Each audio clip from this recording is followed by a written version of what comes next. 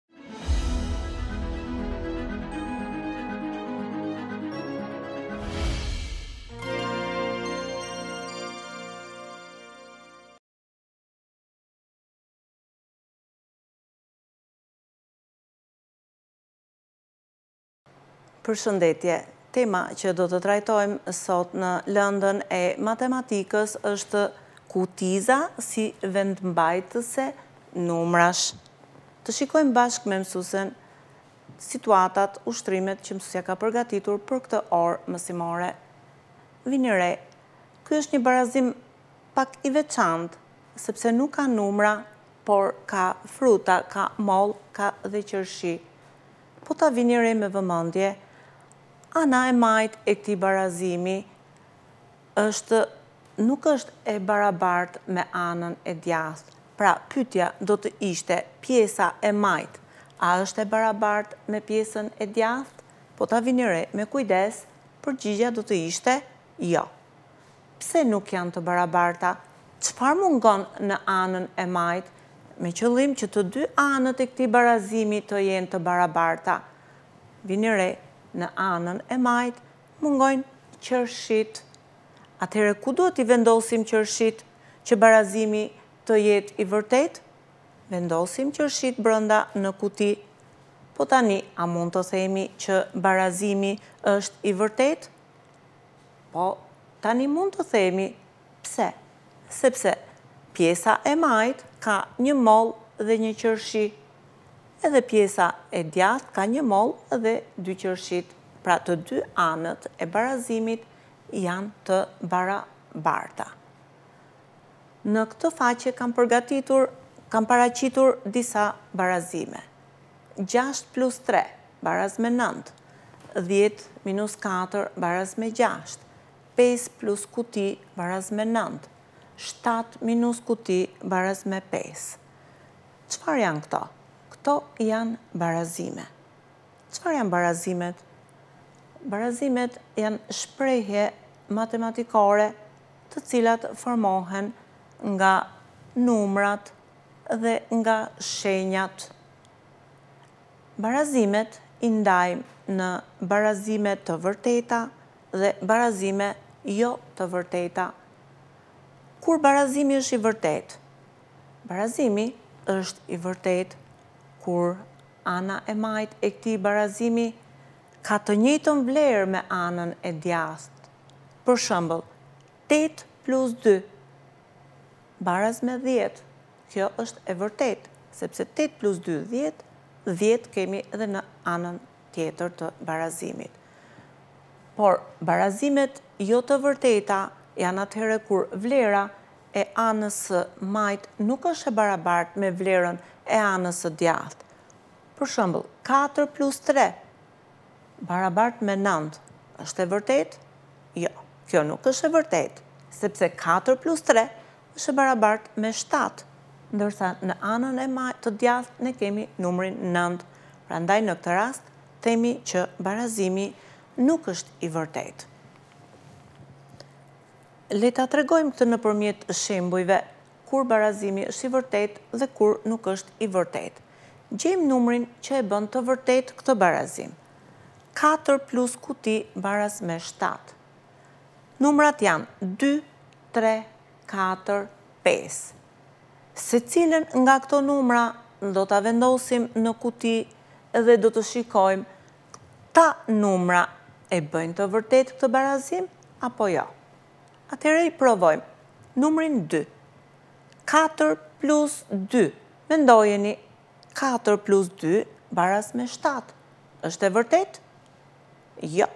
Katër plus dy nuk është e vërtetë, sepse katër plus dy bëjnë gjashtë. Atëherë për numrin dy, barazimi nuk është i vërtetë.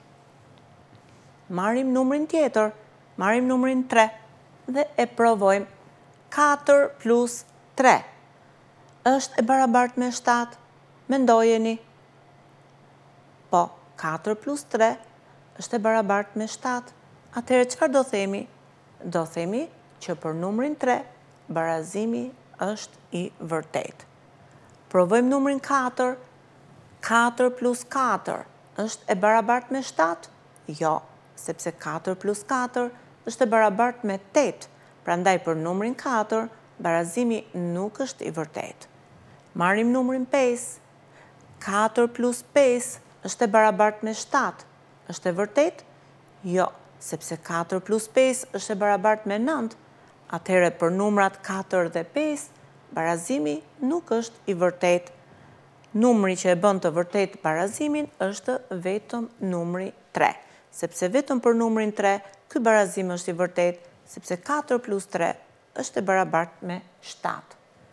Nëntë minus kuti është e barabartë me tre. Do provojmë numrat katër, pesë dhe gjashtë. Atëherë, për numrin katër dhe numrin pesë, barazimi nuk është i vërtetë. Pse? Në qoftë se do ta vendosim numrin katër në kuti, kryejmë zbritjen, nëntë minus katër barabartë me tre. Është e vërtetë kjo? Jo, kjo nuk është e vërtetë, sepse nëntë minus katër është e barabartë me pesë, jo me tre. Nëntë minus pesë është e barabartë me tre. E provojmë. Nëntë minus pesë bëjnë? Katër. Atëherë nuk është e vërtetë as për numrin pesë. Provojmë numrin gjashtë. Nëntë minus gjashtë është e barabartë me tre. Po për këtë është e vërtetë për numrin gjashtë? Po, për numrin gjashtë ky barazim është i vërtetë sepse nëntë minus gjashtë është e barabartë me tre. Numri që e bën të vërtetë barazimin është numri gjashtë. Përsëri kemi barazimet pesë plus kuti baraz me tetë dhe katër plus kuti baraz me nëntë. Çfarë duhet të vendosim në kuti që ky barazim të kthehet në barazim të vërtetë? Si veprojmë për ta gjetur? Në shembullin pak më parë ne përdorëm numrat, i vendosëm këtu në kuti dhe i provuam derisa gjetëm numrin që e bënte të vërtetë barazimin. Por në këtë rast përdorim një mënyrë tjetër. Duhet të kujtoni edhe një herë lidhjen që ekziston midis mbledhjes dhe zbritjes. Sepse kufizat e mbledhjes ne i emërtojmë mbledhor, mbledhor dhe shuma dhe kemi thënë që për të gjetur mbledhorin, nga shuma heqim njërin mbledhor, gjejmë mbledhorin tjetër. Atëherë ne e kemi shumën tetë E kemi dhe një mbledhor pesë si do ta gjejmë mbledhorin tjetër? Tetë minus pesë është e barabartë me tre, pra e gjetëm mbledhorin e panjohur që është numri tre dhe e kthyem barazimin në një barazim të vërtetë. Në të njëjtën mënyrë veprojmë edhe për rastin tjetër ku mbledhori është numri pesë që e kthen barazimin të vërtetë, katër plus pesë është e barabartë me nëntë. Pra kur ne gjejmë kufizën e panjohur, e bëjmë barazimin të vërtetë. Në këtë tabelë, mësuesja ka paraqitur në kuadratin e parë një kuti, ndërsa në rreshtin e dytë kuadrati i parë është tetë plus dy. Numrat dy, gjashtë, nëntë, tre do të vendosen brenda kësaj kutie dhe pastaj do kryhet mbledhja e secilit nga këto numra me numrin tetë. Pra, numrin dy e vendosim në kuti dhe kryejmë mbledhjen tetë plus dy baras me dhjetë. Numrin gjashtë e vendosim në kuti dhe kryejmë mbledhjen tetë plus gjashtë, katërmbëdhjetë, numrin nëntë e vendosim në kuti dhe kryejmë mbledhjen, tetë plus nëntë, shtatëmbëdhjetë, dhe numrin tre e vendosim në kuti dhe kryejmë mbledhjen, tetë plus tre, njëmbëdhjetë. Gjejmë përsëri mbledhorin që mungon. Tetë Plus sa bëjnë njëmbëdhjetë? Thashë një mënyrë është edhe duke kryer zbritjen, pra lidhja që ekziston midis mbledhjes dhe zbritjes. Nga shuma, heqim njërin mbledhor ne gjejmë mbledhorin tjetër ose fillojmë numërojmë mbas numrit tetë numërojmë nëntë, dhjetë, njëmbëdhjetë, tre numra, atëherë tetë plus tre baras me njëmbëdhjetë. Gjashtë plus kuti barabartë me katërmbëdhjetë. E bëjmë me numërim.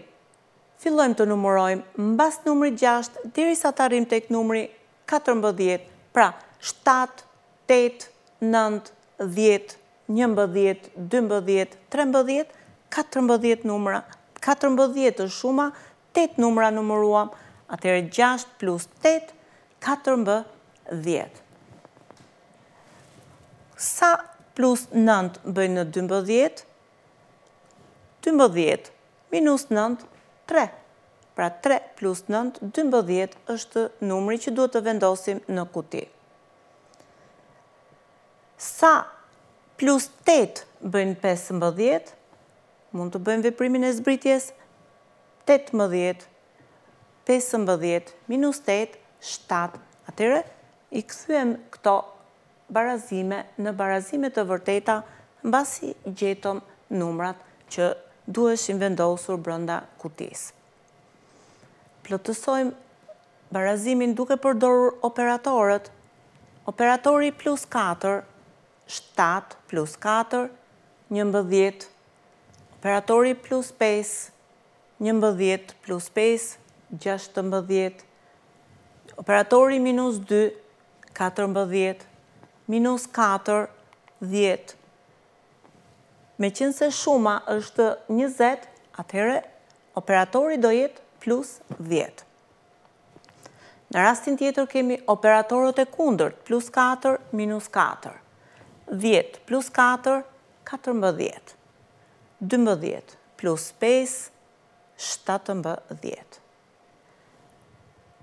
Atëherë gjejmë numrin që duhet vendosim këtu në kuti që ky barazim të na kthehet në barazim të vërtetë. Jam një numër, po të më shtoni katër bëhem gjashtëmbëdhjetë, e gjeni cili jam? Atëherë ne nuk e dimë numrin, meqenëse numrin nuk e dimë, e shënojmë kuti Por këtij numri, duke i shtuar katër, marrim shumën gjashtëmbëdhjetë. Atëherë, për të gjetur numrin që na mungon, mund të veprojmë duke kryer veprimin e zbritjes, nga shuma heqim mbledhorin, na del numri i panjohur, i cili është dymbëdhjeta. Tabela tjetër ka të bëjë me mbledhorët. I mbledhim dhe gjejmë shumën tetë plus dy, dhjetë mbledhor plus mbledhor, shuma. Dhjetë plus gjashtë, gjashtëmbëdhjetë. Trembëdhjetë plus katër, shtatëmbëdhjetë. Njëzet plus tridhjetë, pesëdhjetë. Nëntë plus pesë, katërmbëdhjetë. Përsëri plotësojmë kutinë duke gjetur mbledhorin e panjohur, në këtë rast kemi të bëjmë me mbledhjen e numrave me dhjetëshe të plota, prandaj dhe gjetja e numrit të panjohur besoj është e thjeshtë nga ju. Pse? Sepse kuti plus tridhjetë baras me shtatëdhjetë. Atëherë cili është numri që mblidhet me tridhjetën dhe të marrim shtatëdhjetën? Numri do të jetë dyzeta. Dyzet plus sa bëjnë pesëdhjetë? Cili është numri që mblidhet me dyzetën dhe del pesëdhjetë? Është numri dhjetë. Nëntëdhjetë minus sa bëjnë pesëdhjetë? Mendojeni, nëntëdhjetë minus sa bëjnë pesëdhjetë ose nëntë minus sa bëjnë pesë? Nëntë minus katër bëjnë pesë. Meqenëse nëntë minus katër bëjnë pesë, nëntëdhjetë minus sa? Dyzet është e barabartë me pesëdhjetë. Sa minus njëzet është e barabartë me gjashtëdhjetë? Pra cili është numri nga i cili heqim njëzetën dhe duhet na dalë gjashtëdhjeta? E mendojmë që ky numër është numri tetëdhjetë. Dy shembujt e fundit, tetëdhjetën e emërtojmë ndryshe dyzet plus dyzet ose nëntëdhjetë minus dhjetë. njëherë me veprimin e mbledhjes dhe pastaj me veprimin e zbritjes. Në vijën e parë të mbyllur kemi numrat 6, 10, 13. Secilin nga këto numra do ta mbledhim me 3 që të plotësojmë diagramin e dytë. atëherë gjashtë plus tre bëjnë nëntë. Ky është rregulli pra. Numrat e parë vendosen në kuti dhe mblidhen me tre dhe gjejmë dhjetë plus tre, trembëdhjetë dhe trembëdhjetë plus tre, gjashtëmbëdhjetë. Të njëjtën gjë do të bëjmë edhe për rastin tjetër. Numrat e kutisë janë nënta, dymbëdhjeta dhe gjashtëmbëdhjeta.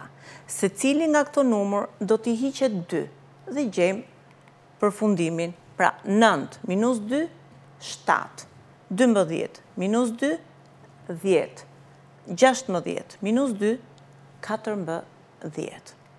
Këto ishin ushtrimet që mësuesja kishte përgatitur për këtë temë mësimore dhe ju falenderoj për vëmendjen, mirë u takofshim!